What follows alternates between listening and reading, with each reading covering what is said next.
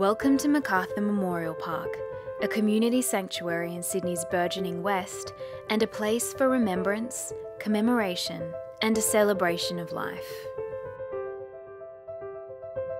This world class memorial park has been conceived with the local community at its heart and will be open to burials for all denominations.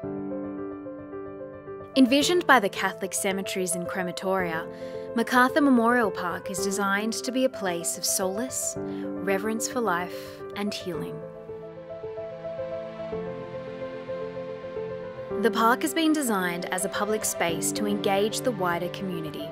Stretching over 35 hectares of parklands, the grounds include peaceful walking tracks, a boardwalk, cafe, and stunning sculpture gardens.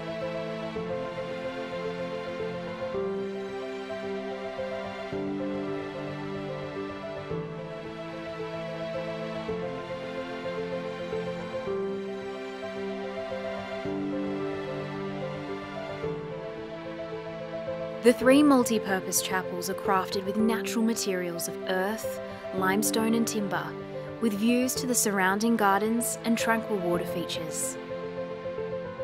Dedication and care has been taken to ensure the site's heritage and ecological integrity is preserved through sustainable design, making it open to the public for the first time in over 150 years.